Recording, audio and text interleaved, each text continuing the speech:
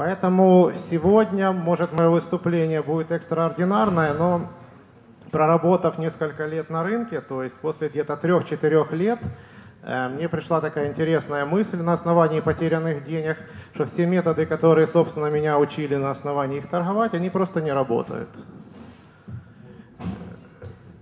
Я вот все, что сейчас скажу, то есть постарайтесь это себе отметить как гипотезу, то есть это мое личное утверждение, вы можете в это верить или нет, но пока отметить для себя это как гипотезу, это не утверждение, чтобы я вас не вел в заблуждение. То есть, наблюдая за рынком, я понял, что, например, фигуры голова и плечи в природе не существует, теория Лиота, предположим, не работает. И индикаторы невозможно постоянно настроить. Э, на постоянно торговые системы рано или поздно перестают переносить деньги. То есть они начинают уносить деньги, кроме адаптивных торговых систем. И тут, собственно, мне попалась информация про так называемую фрактальную теорию рынка, которая, собственно, это все объясняет. Мы в основном об этом сегодня и поговорим. Значит, какие существуют проблемы в графическом анализе? Ну, я думаю, линии поддержки сопротивления многих строить учить не надо. То есть, соответственно, если у нас есть два минимума точка 0 и точка 1, мы можем, соответственно, через них провести линию. Ну, логично. Значит, какая возникает проблема? Возникает следующая. Если у нас дрогнула рука, и мы чуть-чуть промахнулись мимо точки 1, соответственно, линия это в будущем, то есть можно получить целый набор линий. И тут возникает резонный вопрос. Ту линию, которую построили вы, ее кто-то видит, кроме вас? То есть получается сообщество трейдеров, которое торгует на рынке, построило ряд ошибочных линий, которые для каждого являются поддержкой, поэтому, соответственно, данные линии, чем дальше они в будущее, тем они больше имеют погрешность. Но это еще не самое интересное. Э, предположим, вы работаете, опять же, на основании классических каналов или на основании классических линий поддержки сопротивления. И э, система ваша трендоследующая, то есть система, которая действует по тенденции, и вы вошли, соответственно, в точку 3 на пробой. Классические методы, то есть если мы, например, э, построим линии поддержки сопротивления для локальной тенденции и для глобальной тенденции, то есть выход, соответственно, будет в точках 5 и точке 6. Если вы воспользуетесь даже каналом линейной регрессии или любым другим каналом, то выход будет достаточно поздно, и вы, соответственно, потеряете львиную долю прибыли. Значит, что бы хотелось получить? То есть, что бы в идеале хотелось получить для того, чтобы не терять прибыль? Вопрос входа в рынок э, – это как бы вопрос один, но еще же надо из него красиво выйти и получить максимальную прибыль для того, чтобы улучшить, соответственно, параметры торговой системы. Поскольку стоп-лоссом управляете вы, то есть вы можете управлять только стоп-лоссом, размером стоп-лосса. Размером take-профита вы управлять не можете, вы можете получить ровно столько, сколько вам дает рынок. Поэтому, коль стоп-лосс для большинства трейдеров, которые уже торгуют достаточно долго, он фиксированный – ну, для каждого конкретного инструмента, там, например, там, евро 15 пунктов, фунт 25, на нефти там где-то полдоллара до доллара в зависимости от интервала торговли. Э, и этим инструментом вы не можете управлять, улучшая параметры money менеджмента своей системы, то есть вы можете управлять только take профитом. Поэтому задача трейдера понятна, то есть выжать из take профита как можно больше. То есть дать цене расти, но при этом зафиксировать ее в какой-то конкретной точке, которой мы будем уверены, что дальнейшего движения не будет, и рынок, соответственно, ушел в боковик, либо развернулся в противоположную сторону. Значит, поэтому что хотелось получить? Во-первых, какую-то адаптивную систему и какую-то линию, которая будет двигаться за нашей ценой. То есть вы видите, что линия поддержки, одна и вторая, никак не реагирует на точку 4. То есть насколько бы максимально точка 4 и цена не вылетала вверх, линии поддержки и сопротивления остаются на одном и том же уровне. То есть, соответственно, они нам никакой информации не несут, и за рынком они не двигаются. Поэтому мне пришла довольно интересная мысль, что, скорее всего, что линии поддержки и сопротивления, они криволинейные. Как думаете, можно построить криволинейную линию поддержки и сопротивления? Ну, то есть как-то, наверное, можно. И второй момент, о чем я уже говорил, хотелось бы, чтобы система поддержки и сопротивления следовала за нашей ценой. То есть если цена уходит вертикально вверх, то, соответственно, линия поддержки и сопротивления должна приближаться. И как только рынок, соответственно, уйдет в боковик или начнет движение против нас, мы должны выйти из позиции и не думать, выйти, и потом будем разбираться, что, собственно, происходит на рынке. То есть разворот или движение в противоположную сторону.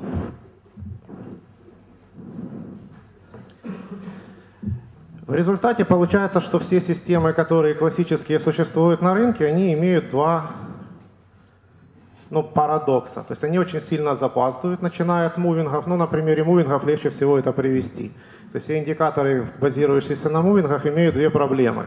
Если вы получаете короткий период следования этого индикатора, то есть маленький, там 5-7, то вы получаете большое количество ложных сигналов. Если вы, соответственно, настраиваете индикатор на длинный период, вы получаете очень большое запаздывание и сглазывание пиков цены. Поэтому хотелось получить такую систему, которая будет адаптивна,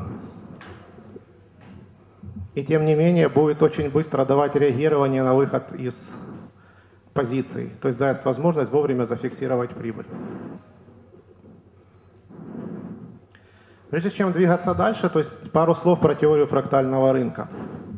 Значит, идея заключается в том, что цена движется по рынку внутри какого-то определенного пространства. То есть из точки 0 в точку 1. Внешние ограничения в этом случае накладывают та среда инвесторов, как ее еще называют, электронное стадо, которое, соответственно, имеет свои намерения на рынке. То есть рынок идет из точки 1 в точку 0. При этом лучшее описание этой модели, то есть это эллипс. То есть мы в любой момент, любое движение можем очертить эллипсом и получить, соответственно, то пространство, в которое наиболее вероятно будет находиться цена или находилась в прошлом и будет находиться в будущем.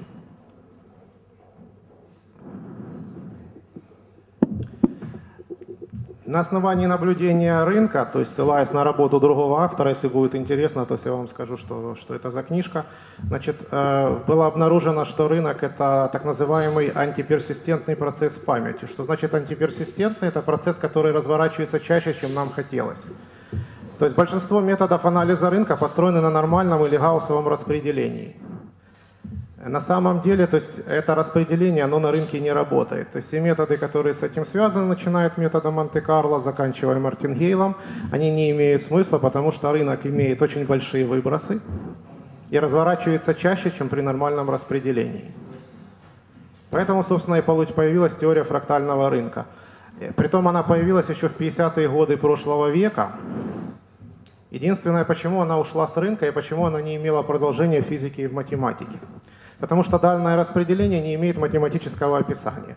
То есть кто знает гауссово распределение, оно имеет, соответственно, легкое описание математическое, то есть можно получить дисперсию, среднеквадратическое отклонение, мат ожидания. Э, математически работать на основании теории фрактального рынка, то есть практически невозможно. Но это я вас уже, наверное, чересчур загрузил. А так как я я по большому счету э, практик, я просто постараюсь, я не смогу вам сегодня рассказать всю эту систему. То есть у меня в январе будет по, поводу, по этому поводу мастер-класс, то всех приглашаю туда, о чем я скажу позже. Я сегодня просто покажу, что эта система может и что она, соответственно, дает трейдеру, поскольку я понимаю, что трейдеры это практики, а нас интересует в первую очередь практика. И еще одно такое маленькое наблюдение. То есть представляете, что себе, что такое спираль Фибоначчи. Кто-то в это верит, кто-то нет. Могу даже рассказать, почему многие в это не верят. Значит, есть опять же такая интересная проблема, то есть мы все пытаемся строить фибосетку или фиборасширение фибокоррекции, и кто торгует достаточно давно уже заметил, что цена отклоняется от фибоуровней. То есть заметили. Ну, поэтому, соответственно, сразу логика, что эта штука просто не работает. Ну, тут вы, наверное, правы, но я тут немножко возражу. То есть получается, что еще забыл сказать про теорию фрактального рынка, что вот этот вот эллипс, то есть, э, э, значит, или внешняя среда, он формируется большим интервалом. То есть внутренний шум меньшего интервала, он просто заполняет этот эллипс. Поэтому можно сказать, что на каких-то локальных участках, то есть Фибоначчи работает. Если мы складываем это все в общую картину, то, соответственно, получается отклонение. Почему они, собственно, получаются?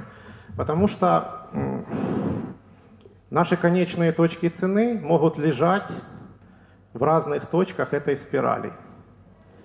То есть понимаете, что все эти точки, они будут либо попадать, либо не попадать на расширение по цене Фибоначчи, либо попадать, не попадать на расширение Фибоначчи по времени. Где бы, собственно, в каком месте э, нашего движения не закончился данный эллипс или наше, собственно, ценовое движение, эллипс это получается единственная фигура, которая лучшим образом связывает фибо-цену и фибо-время. То есть так называемые мы переходим к разряду сделок по цене, э, по цене и по времени. Большинство трейдеров, то есть кто из вас анализирует время? То есть большинство работают с ценой ну, пару человек есть, это хорошо. Значит, зачем нам надо анализировать FIBA время и время на этом рынке? Э, в прошлом или позапрошлом году, я так понимаю, американские, по-моему, ученые получили Нобелевскую премию за то, что они на рынке разделили тренд и флет. То есть зачем нам это надо? Строим так называемую линию поддержки эллипса. При этом, чем хорош этот метод, он учитывает амплитуду. То есть если мы находимся в верхней части – мы учитываем максимумы, если мы находимся в нижней части, мы учитываем минимумы. То есть мы учитываем всю амплитуду рынка, не срезаем ее, как это делают индикаторы и другие методы анализа. Мы в данном случае анализируем непосредственно цену, не производные инструменты, тем самым теряя минимум информации. Э, если, ну, соответственно, красный квадратик показывает место окончания тенденции вверх. И при этом, как трейдеру, мне не важно, то есть, собственно, цена пойдет дальше вверх или дальше вниз, то есть мы пытаемся заработать на любом движении. В данном случае мы не знаем, какое дальнейшее поведение цены, то есть мы имеем определенную мертвую зону, но тем не менее позицию в данном случае в лонг мы фиксируем. До выяснения обстоятельств, что, собственно, происходит на рынке. Ну, это, собственно, неудобно аналитикам, но для трейдера, по-моему, прямое, понятное решение.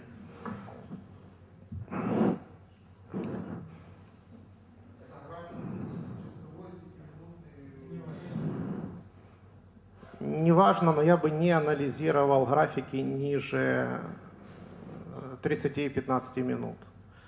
Э, дело в том, что получается, когда на маленькие тайфреймы заходят крупные игроки, то вы можете получить э, картину. Кстати, спасибо, хороший вопрос. Значит, вот предположим, что мы знаем, что цена будет двигаться из точки 0 в точку 1. И точно можем построить этот эллипс, я вам предварительно сегодня покажу как. Но мы абсолютно не знаем, какое будет заполнение этого эллипса, и где и в каком месте коснется цена этих стенок. То есть получается, у нас есть ключевые точки, между которыми двигается цена, но тем не менее мы не знаем, соответственно, какая будет волновая структура внутри и как цена поведет себя внутри. То есть я думаю, что я ответил на ваш вопрос. Но в данном случае мы еще ничего не прогнозируем, мы просто анализируем текущую ситуацию, то есть мы анализируем прошлое, совершенные факты. Значит, мы, соответственно, с помощью эллипсов разделяем это все на меньшие подволны. То есть мы так можем двигаться до бесконечности вниз, но опять же не увлекайтесь, то есть на диковых графиках это делать, наверное, не надо.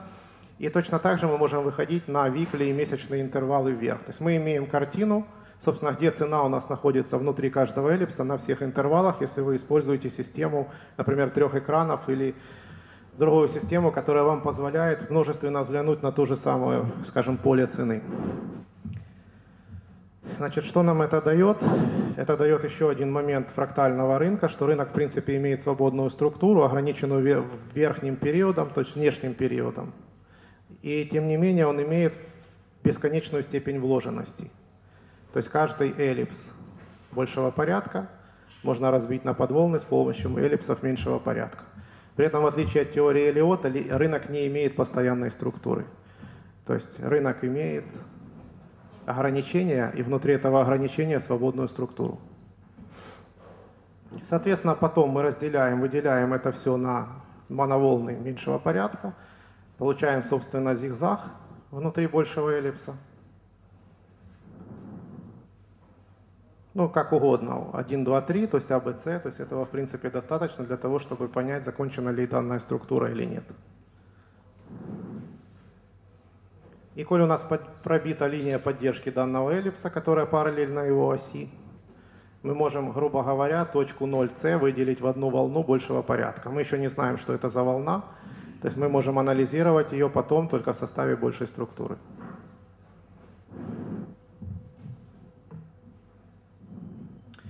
Значит, что мы еще можем делать на основании данного метода? Можем строить так называемые сценарии. Для трейдеров эта затея опасная, для аналитиков, в принципе, неплохая. То есть аналитик может спрогнозировать максимумы и минимумы цены на каком-то интервале времени, то есть на каждом временном срезе. Предположим, у нас есть текущая ситуация по евро, это часовой график вчерашний, по-моему. Кто торгует евро, я думаю, увидел знакомую картину. Значит, что мы сейчас имеем? Был какой-то довольно серьезный, довольно серьезная нисходящая тенденция, линия эллипса пробита, и в данном случае есть два варианта. Либо начнется коррекция по евро, либо продолжится движение вниз в параллельном канале. Нам никто и ничто не мешает построить два сценария. То есть мы строим один сценарий восходящий и один, соответственно, сценарий нисходящий. То есть если это все увеличить, есть это выглядит вот таким вот образом. То есть мы работаем в разрезе этих двух сценариев. Значит, какие действия трейдера в данном случае могут быть? Если открыта короткая позиция по евро, пока не пробит нисходящий эллипс, а точнее его линия сопротивления, мы можем короткую позицию по евро держать. В длинную позицию мы можем зайти только в том случае, если цена перейдет на первый сценарий. То есть у нас есть первый сценарий, отличный вход от границы эллипса и короткий стоп-лосс.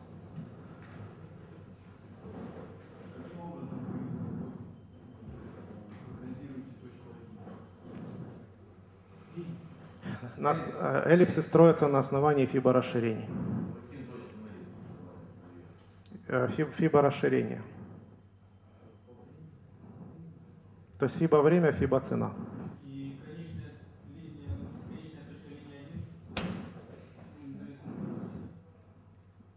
Конечная точка линии 1 на рисунке, да на основании фибо расширений. Я просто не успею это показать. Если вас заинтересует этот метод, я 22 числа читаю мастер-класс, то есть приглашаю всех, я покажу там все, все нюансы и весь волновой анализ, который требуется для 22 января. То есть я еще про это немножко позже скажу. Я просто сегодня не хочу э, останавливаться на методах, потому что они довольно трудоемкие. Начинается с того, что надо определить значимые минимумы и максимумы, разделить это все на волны, провести волновой анализ и потом только начинать какое-то построение. То есть я просто сегодня пытаюсь показать, э, что эта система может. То есть наподобие, как я презентую автомобиль, который разгоняется за 4 секунды, за, э, до 100 километров за 4 секунды. Но вас то есть интересует как, как я вам расскажу на мастер-классе. Ну или пообщаемся после, кому будет очень интересно, пообщаемся после моего доклада. Соответственно, если у вас еще не открыта короткая позиция, неплохо было бы ее опять же открыть от границы эллипса после какой-то коррекции, то сейчас, скорее всего, что по евро будет принято какое-то решение, то есть участниками рынка, куда, собственно, пойдет цена. То есть здесь я хочу отметить, что цена на самом деле то есть имеет какую-то свободу, и поэтому в какие-то есть моменты, есть выбор. Цена может пойти как вверх, так и вниз. Это плохо для аналитика, но абсолютно никакого значения не имеет для трейдера. То есть наша задача зарабатывать, куда бы цена ни пошла.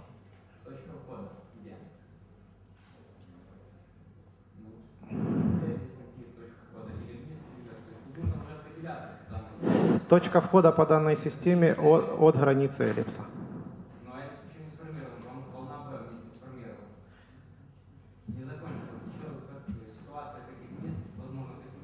После маленькой коррекции, когда цена перейдет в верхний эллипс, и после маленькой коррекции, когда цена перейдет в нижний эллипс.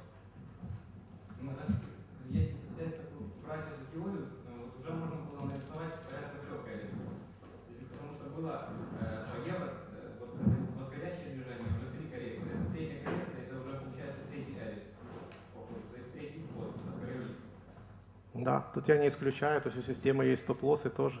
То есть она не дает стопроцентный результат. Стоп-лоссы есть, то есть для чего в принципе стоп-лоссы? То есть стоп-лоссы нужны для того, что если вы неправильно сделали прогноз, вы, соответственно, получаете стоп-лосс. Но коль вы задали этот красивый вопрос, я на него отвечу следующим образом.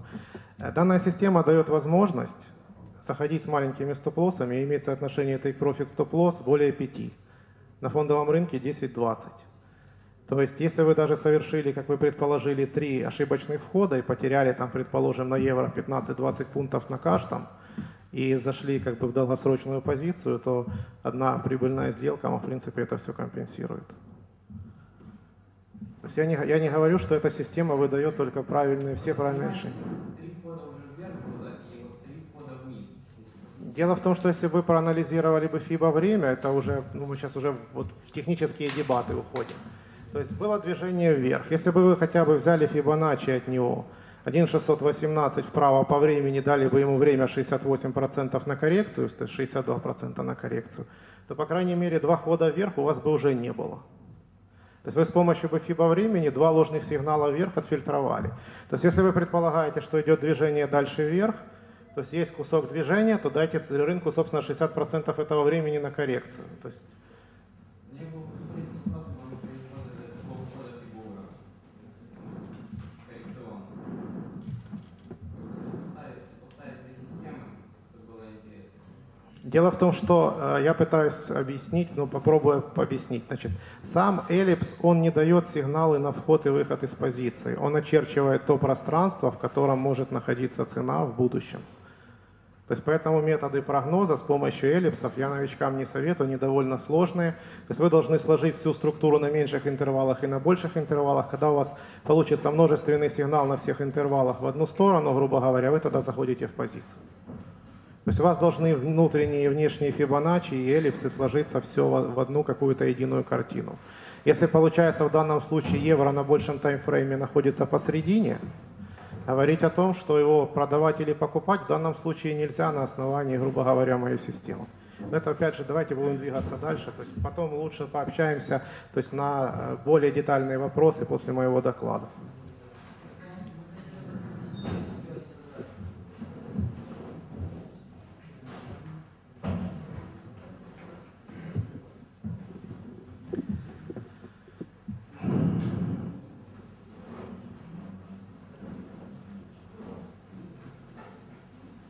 Значит, в чем здесь, собственно, идея? Идея в том, что если на, на основании определенных параметров, а точнее фибосетки, построено два эллипса вверх и вниз,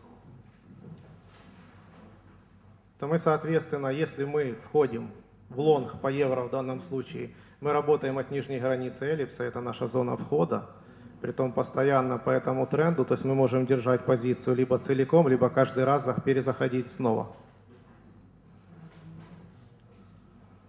Если, соответственно, мы получаем, что пробит, про- пробит эллипс восходящий, что же, в принципе, вчера вечером произошло, то есть мы быстрее всех получаем информацию о том, что с восходящим трендом по евро что-то не так. Но это абсолютно не сигналы на вход и выход из позиции. То есть мы просто анализируем пока ситуацию. То ту ситуацию, то есть если у нас возможность сделки. Зоны входа-выхода, постановка стоп-лоссов, это опять же на мастер-классе, то есть это не э, на, пределы данного кла- доклада я просто не вложусь. Значит, что еще можно делать на основании эллипсов? Опционами кто-то торгует?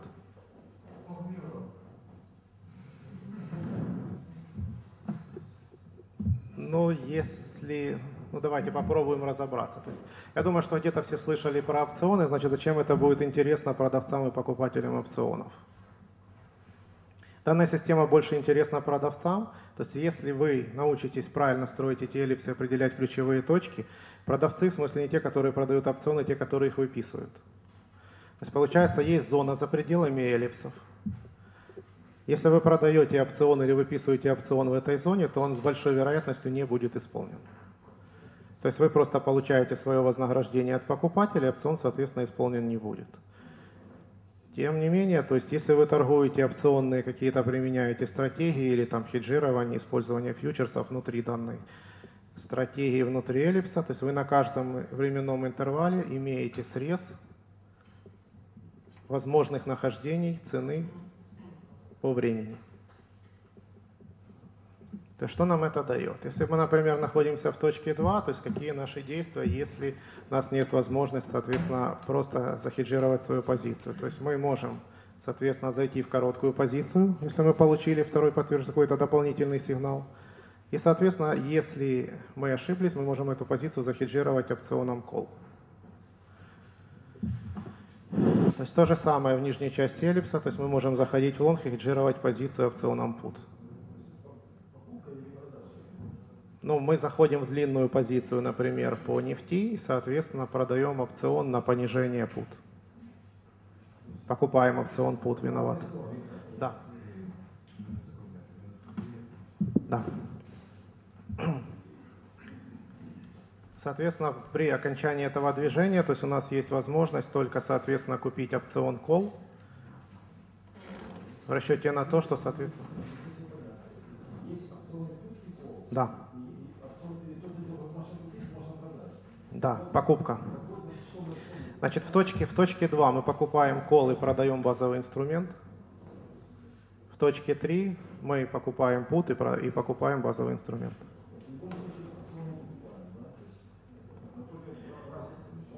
Дело в том, что э, в зависимости от вашей тактики, и вы работаете, то есть есть же варианты разные. То есть вы работаете чистыми опционами, просто торгуете опцион, хеджируетесь, или используете, например, фьючерс вместе с опционом. То все зависит от выбранной вашей тактики. Я хотел вам просто донести одну такую мысль, что э, опционы за пределами данного эллипса, то есть скорее всего, что вы исполнены не будут.